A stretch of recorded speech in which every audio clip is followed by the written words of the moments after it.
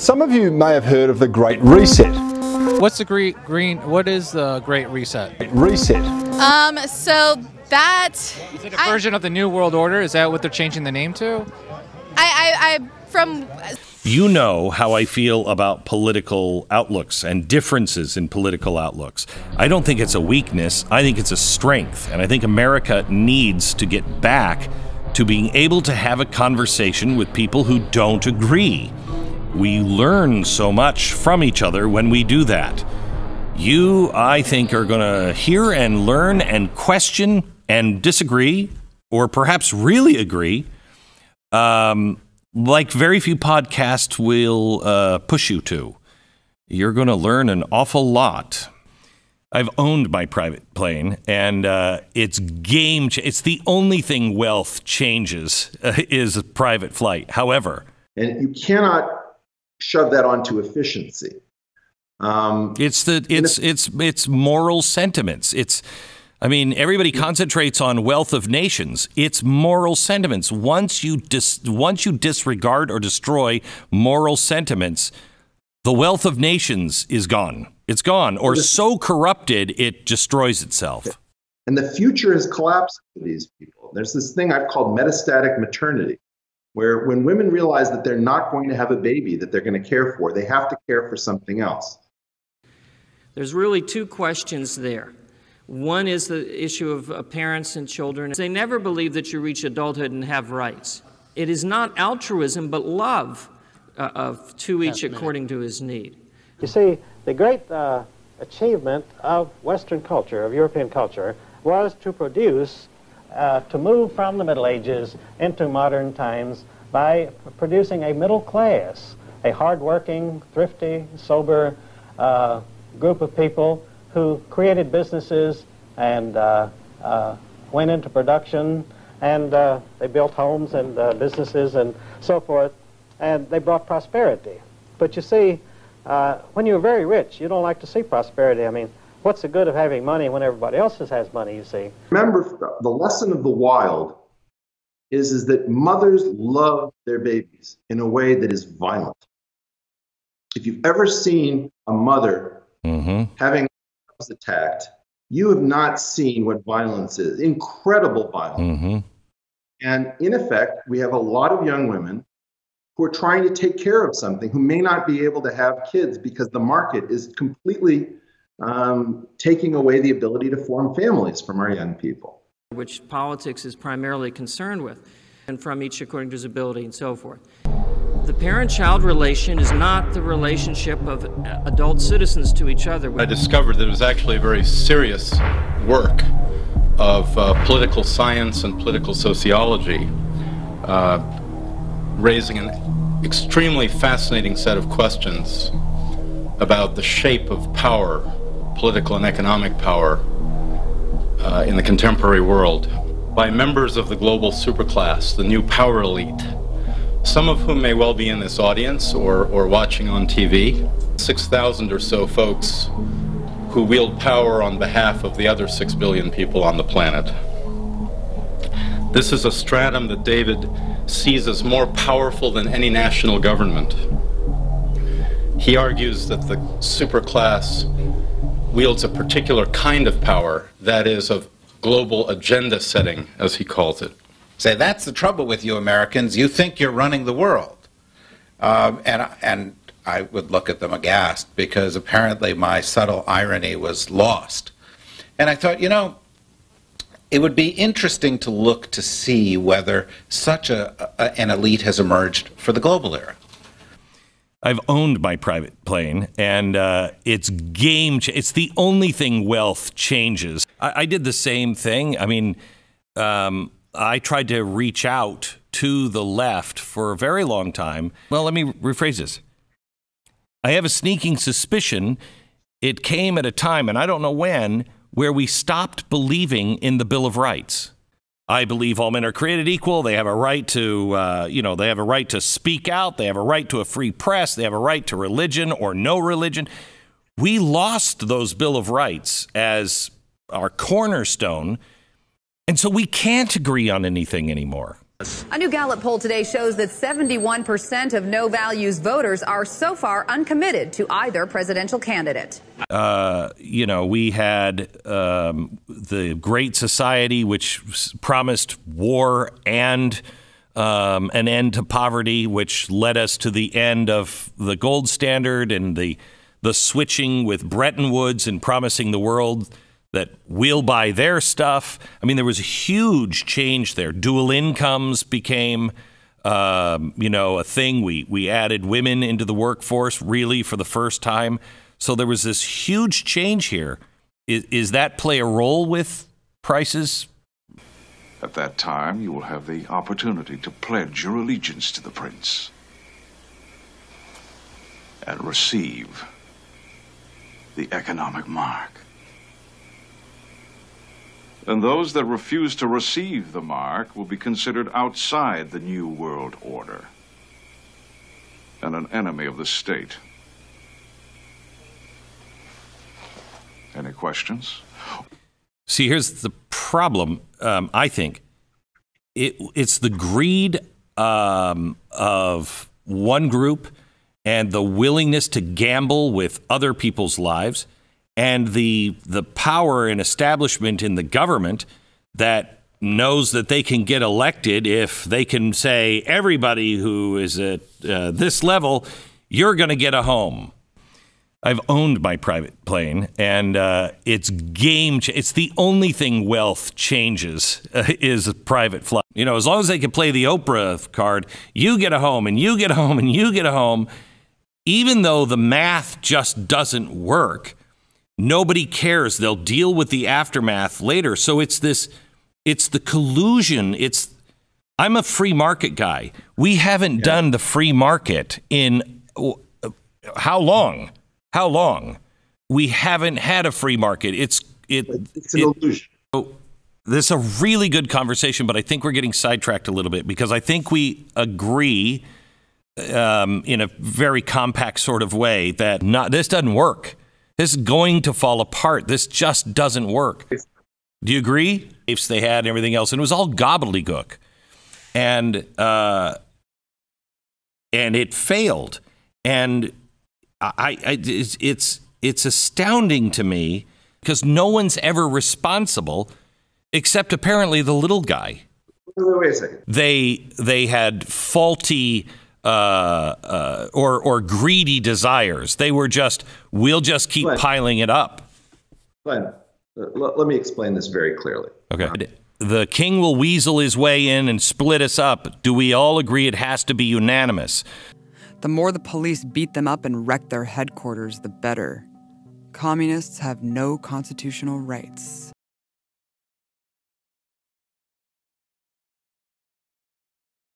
Let me go back to that BBC article, that hit piece, calling all of this a conspiracy. Quote: So too is the nation that the uh, is the notion that the World Economic Forum has the authority to tell other countries what to do, or that it's coordinating a secret cabal of world leaders. I, I urge you to go back, read the original draft. Just cut out. Uh, I like that Obama did coke and McCain probably killed some guys in Vietnam, but you know, for me, it's just not enough. No candidate has demonstrated the total lack of moral fiber they want to see in a president. Who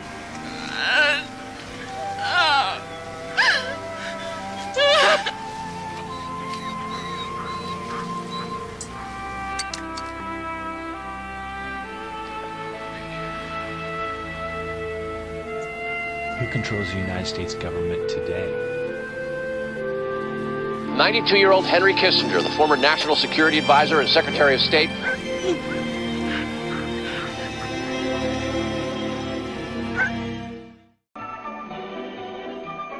Vouch. We want to be able to look at a candidate and truly believe they have no soul.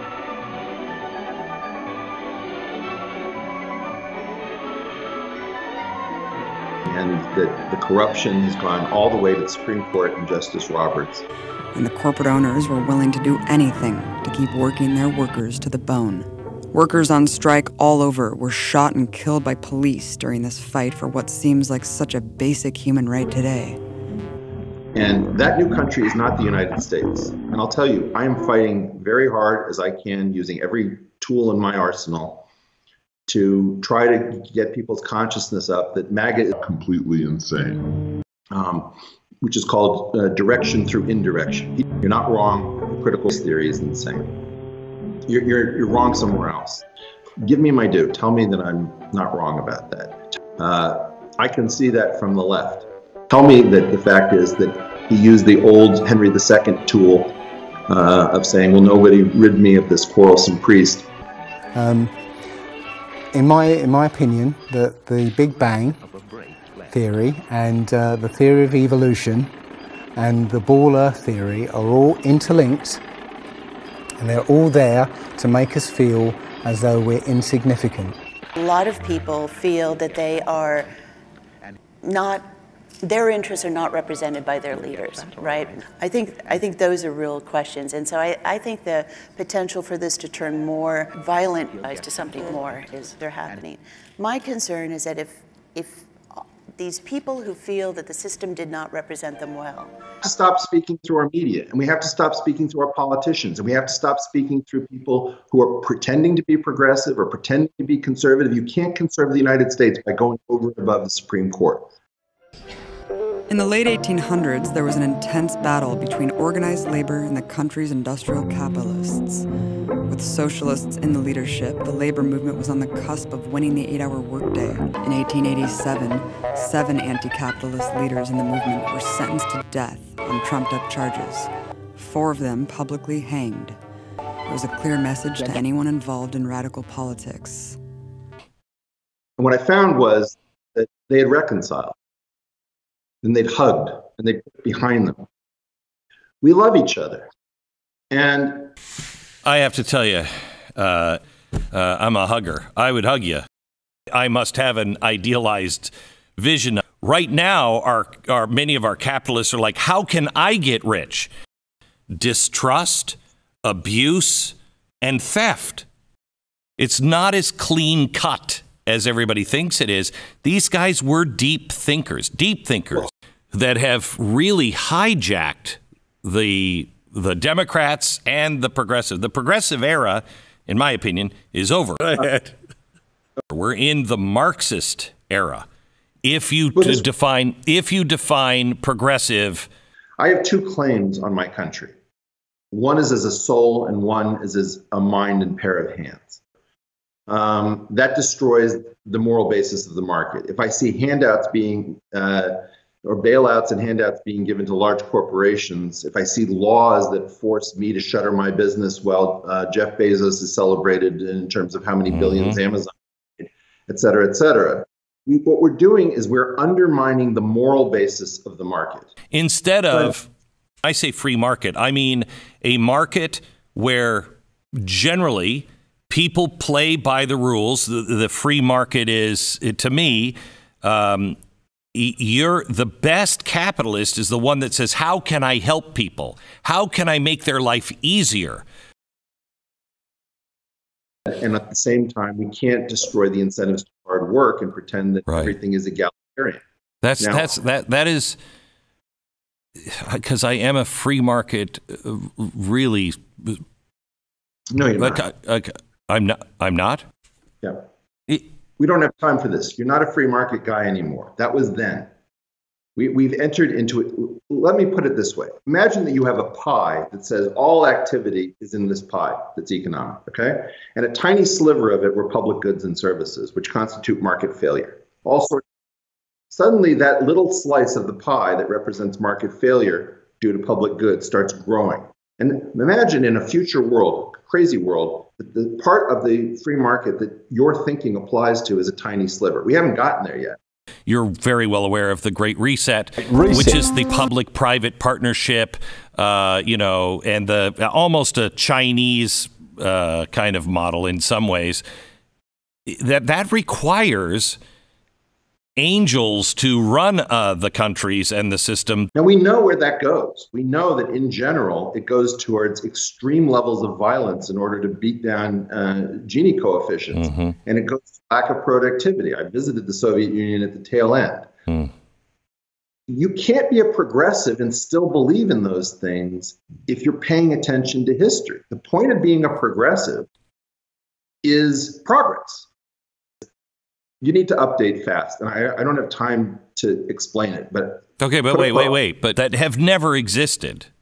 I mean, yes, we don't have the wis- we don't have the wisdom to take over from the market, Glenn. It's a Right. self-organized system. Right. Nobody's arguing. What I'm trying to say is, you know, Mhm. you can't tell. I wish to opt, opt out of U.S. Army protection. but that's not a that's not a a, a, um, a classical definition of a progressive. I don't think you're understanding me. Let me try it again. Uh, we learn from our experience. Many of us believed uh, back in the 1930s that progress, uh, with the failure of the crash of 29, um, came from embracing socialism. I mean, if you look at, at all the all the cool kids wanted socialism and communism because that was the hot new idea. And I say nobody's talking about it. What's going on is that the media is doing a cross promotion. So the conversation that's really going on about progressivism and all this stuff is not the progressive conversation. What professional wrestling is to mixed martial arts. Okay? It's a simulated conversation. Is that we've got a bunch of simple answers, none of them work. I could say it's all Ayn Rand, or what we need right, to right. do is recognize that Swedish socialism Right, right, right. you know, all of this is garbage where everything is going to put everything on the blockchain. Blockchain solves everything. All of these are completely simplistic. The, the point is, is that what has gotten more people out of progress is the market. If progressive means lifting people out of poverty, about giving people hope, literacy, access to clean water and health care, a progressive has to embrace the market, period. Yeah, I agree with you. Take the best parts of things, conserve them, and No. throw the rest out. No, you, you, you don't realize that you're a progressive. Forgive me. Uh, no, you're a conservative. Forgive me. Uh, forgive me. Uh, forgive me. Uh, forgive me. The U.S. has, has long been the protector of global capitalism, especially since World War II. We have over 800 bases in 70 countries and territories. The UK and France and Russia collectively have only 30 bases that are foreign. So the, you can't get confused about what your ideals are um, and what your idealism is uh, just because somebody's taken all your language and reprogrammed it. So none of this has anything to do with progressivism. And if it ha- if it requires me shouting at a mob of a thousand people who are saying defund the police, uh, my point is that's not progressive. That's insane. So that for me is very important to see the tragedy of all this misuse of words, instrumentalization, uh, real criminal uh, mentality, you know, where if you stay in something like that, you have to be insane or a total, you know, uh, sarcastic or incredulous uh, person. So I, I really will question the ethical uh, standards or morality of anybody that can digest, you know, those operations and still speak, you know, uh, like man of good faith to the American people. I believe that the moral question, the ethical question is very strong. It hasn't been raised enough. I don't have too much time because we can have more discussion. And, and Bill insisted because you want to read, you know, I have all these uh, things written, and um, uh, I think it's important to write them down when you come to say those. So I am insisting uh, on this concept of a big lie, how the contracts were instrumentalized to lie to Congress, lie to the press, things just created, fabrication of event, events, uh, premeditated, you know, to, uh, to uh, influence Congress or the press. and so- Or when, like sometimes they say, you know, this is not for the American people, this is just for the press, you know.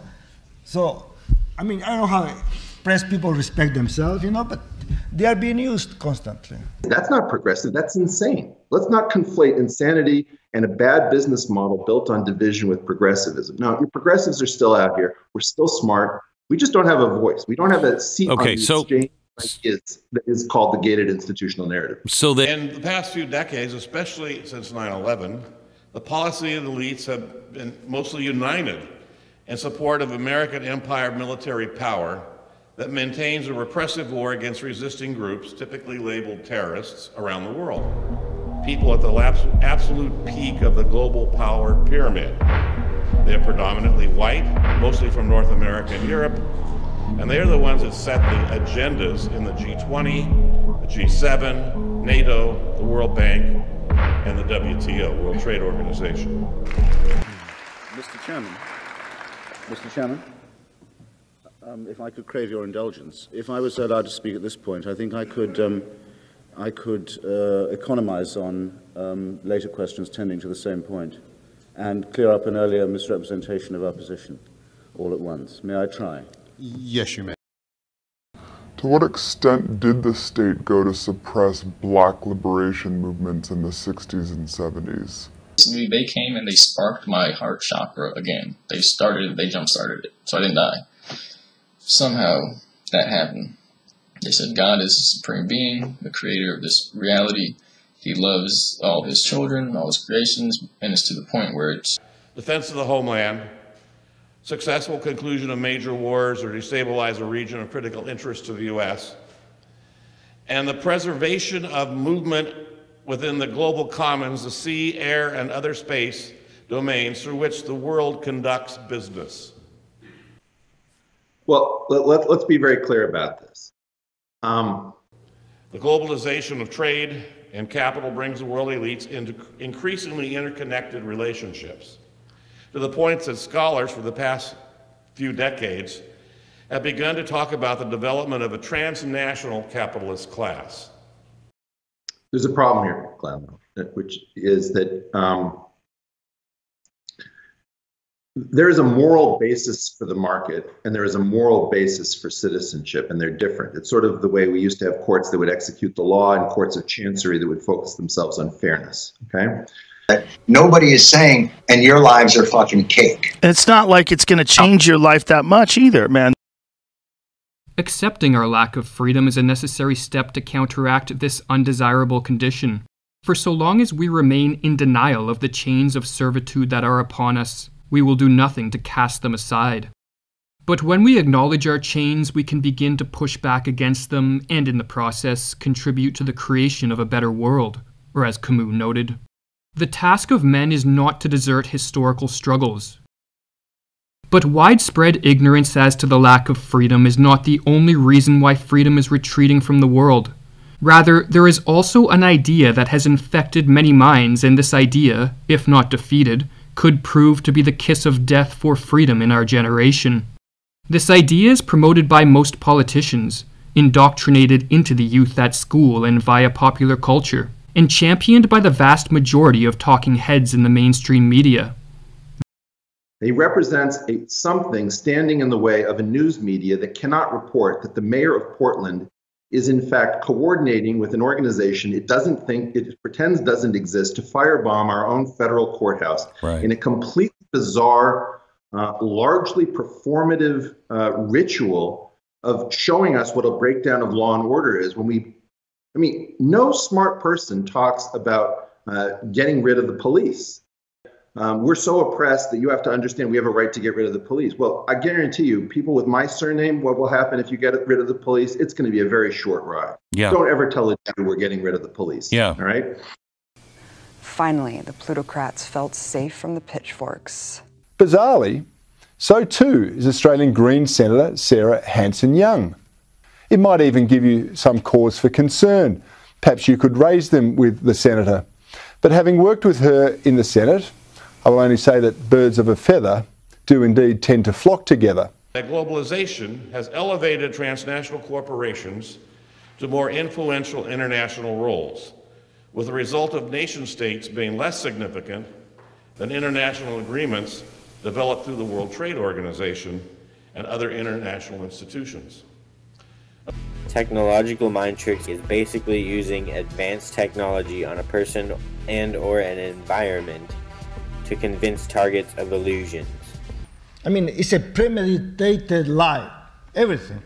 So if I go to follow my outline, I'll have to go uh, here, and you can read. I have a book, uh, thanks to Bill, that, that invited me to write it, called The Packaging of the Contras.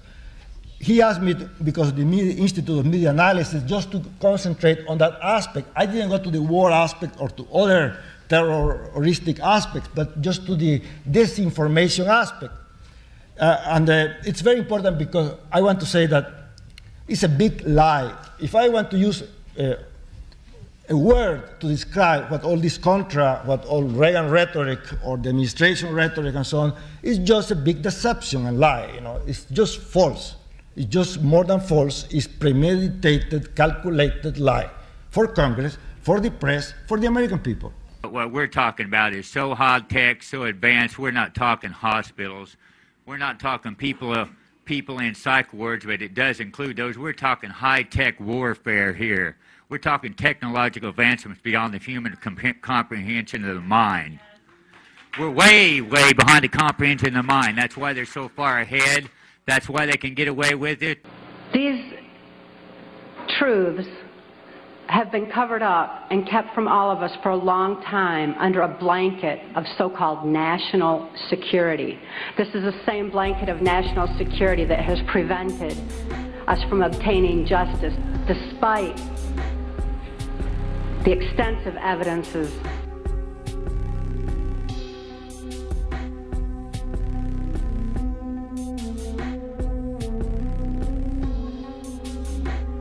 more than enough evidence for any legal procedure in this country, including congressional.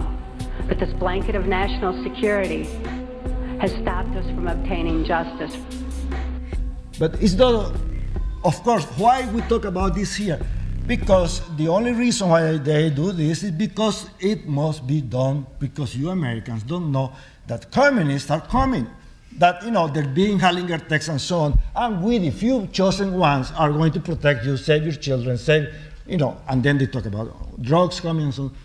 But it's quite the contrary. It's the, the contras, the one who are bringing, you know, the communist book, you know. So powerful if you were to feel it the degree that we don't know how to love ourselves, his love would overpower us and we fucking forget who we are altogether. Wouldn't necessarily be bad, but it wouldn't we wouldn't finish learning here. We just be like, alright, fuck it, we're good, we go home. So we're here to essentially find all these things and learn these things. The archons are playing the bad guy. The angels are there to catch you when the bad guy takes you all the way down to hell. We, I don't think we have to go that far. I think if you know the good essence, you build the good essence. None of that has to happen. I let them take my heart chakra, and I let them take my mind. And uh, I was gone for 16 years in the uh, like memory suppression when this event happened at 21 or 20 actually. I was gone for eons. I, there's a I don't remember who I was before that. I do. I was stupid and angsty, but I don't I don't know who that was. I don't know what the energy of that was. I know me as a child, it feels like I'm here again, like I'm a kid again, like I was born again.